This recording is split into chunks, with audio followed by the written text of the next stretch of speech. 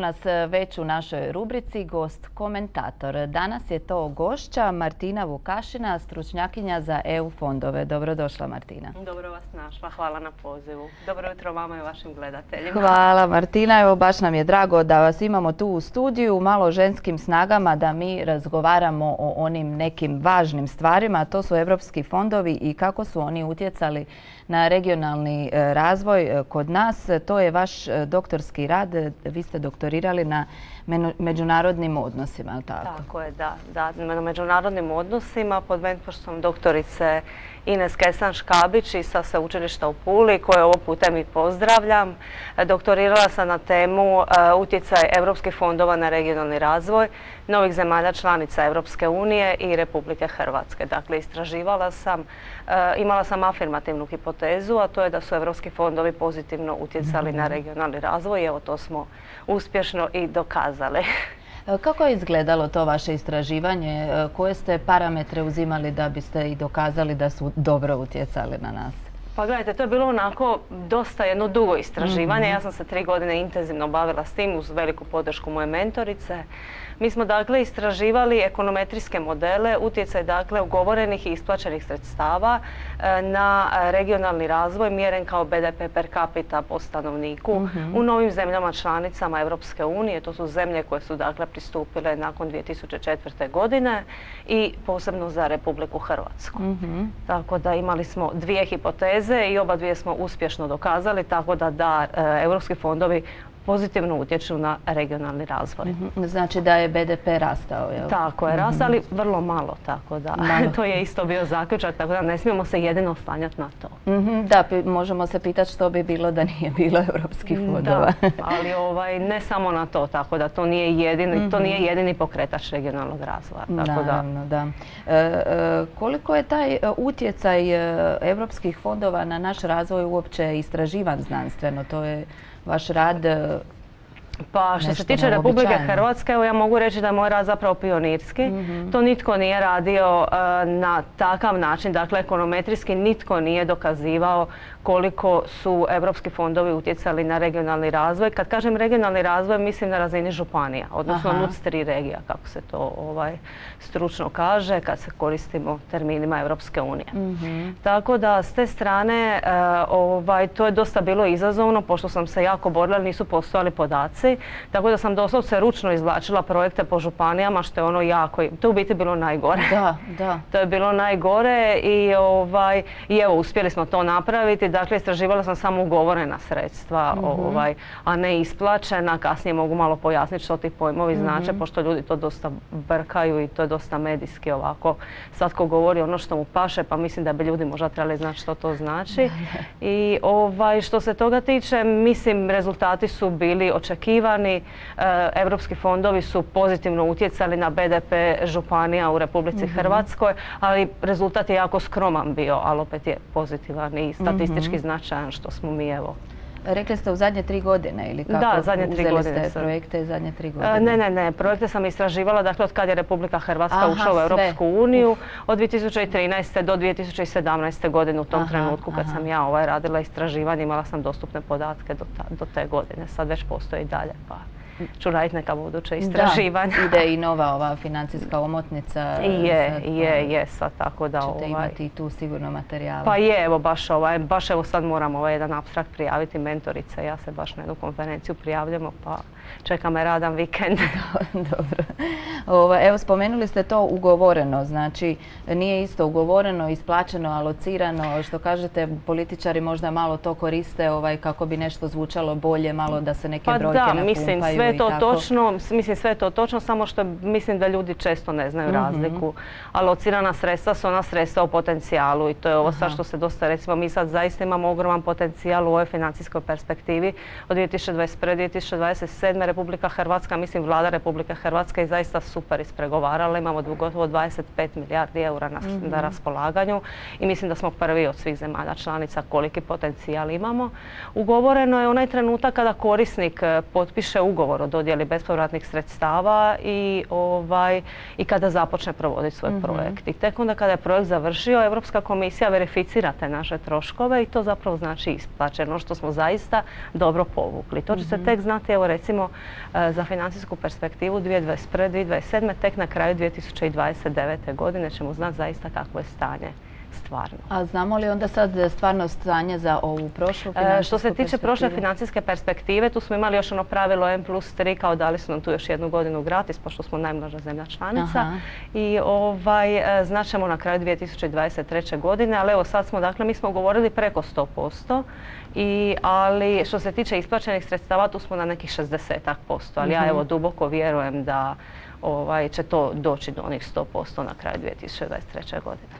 Može se reći da smo ipak u, tom vremenu od kad je krenulo sa onim predpristupnim fondovima pa do danas e, e, educirali ljude, naučili e, koristiti sredstva. Ono, bile su one neke poražavajuće brojke na početku koliko smo loše iskoristili ono što smo mogli, ali sad ovo kad kažete 100% ugovorenog zvuči jako dobro. Pa je, mislim, zaista ja evo nekako osam godina sam ovaj, radila sam, počela sam zapravo kad sam krenula raditi, radila sam predpristupnim fondovima i ovaj, mogu reći stvarno da se stvari mijenjaju na bolje mhm. i ovaj, pogotovo evo, kroz moje istraživanje mislim vidim koliko su ti podaci sve bolji i bolji. Mi zapravo nismo ni imali tu bazu podataka i sad je evo Ministarstvo regionalnog uspostavilo svoju bazu tako da ja vjerujem, ovaj, mislim ja sam sretna što ću moći istraživati Da, više. da, lakše će biti istraživati. da, tako da eto. E, ovako kad ljudi e, gledaju što se radi u jednom gradu, župani, e, bilo gdje, onda će reći često, ajme zašto sad treba, ne znam, obnavljati Providurovu palaču, fali škola ili ne znam,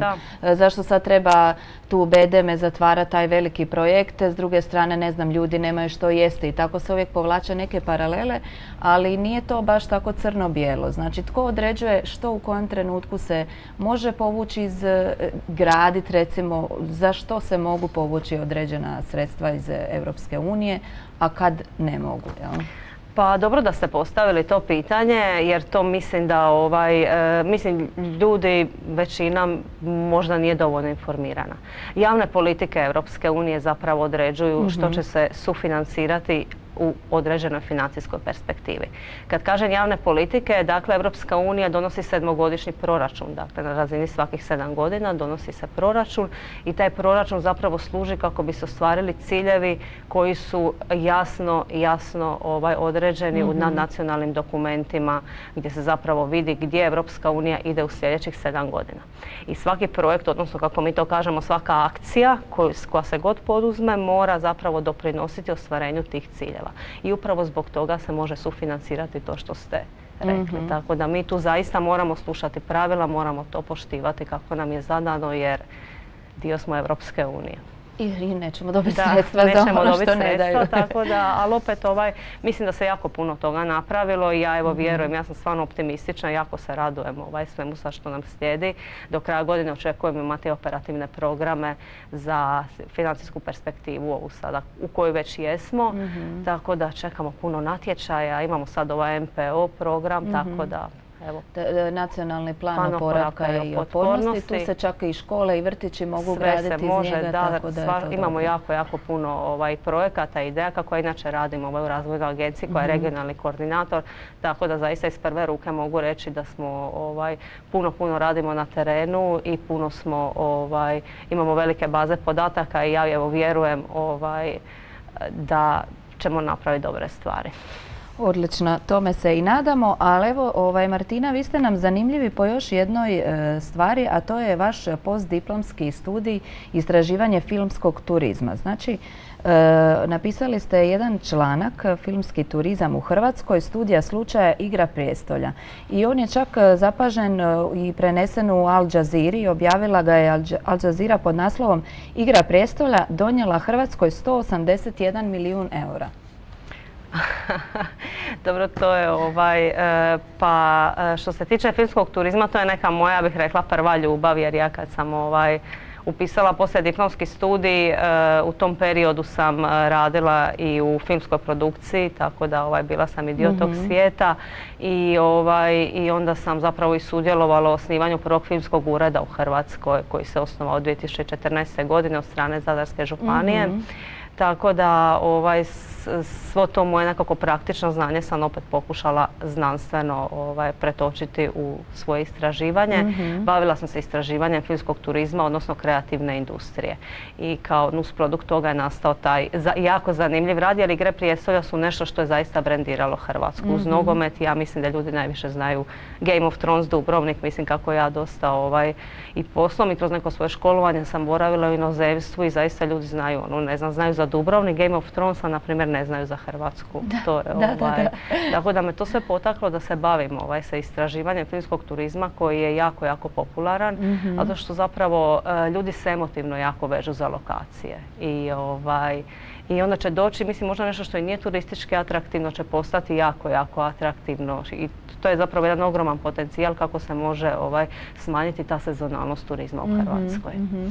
I ja sam onda neko ovaj, sa kolegama, ovaj, svojim koautorima radila istraživanje. Pretpostavljala sam, zapravo gledala sam lokacije gdje se snimao Game of Thrones, to je prvo bio Dubrovnik, kasnije su se tu pridružili Split i Šibenik i gledala sam koliko je, ovaj, koliko je broj turista rasta od godine mhm. kada je bilo snimanje i značajan porast je naravno nastao. Sad mi ne možemo znati da li je to zaista isključivo radi Game of Thrones. Ja sam išla sa jednom pretpostavkom da je recimo polovica tog porasta bila ovaj, e, uzrokovana Game of Thronesom, odnosno igrama prijestolja.